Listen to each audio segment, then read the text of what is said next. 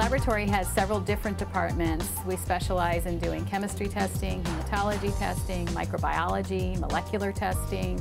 Uh, we have a pathology department. We have a blood bank.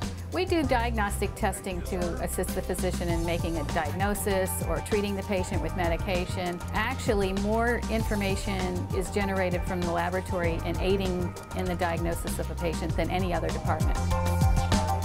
Looking for someone that's going to fit in with our team, number one. That's probably the most important thing to us. And our employees interview potential candidates to make sure that they're a good fit. We look for somebody that has experience and, of course, the appropriate licensure in the state. The Memorial Healthcare System is a great place to work. We do an employee survey every two years and consistently our employees score us very high and we pride ourselves in providing that service.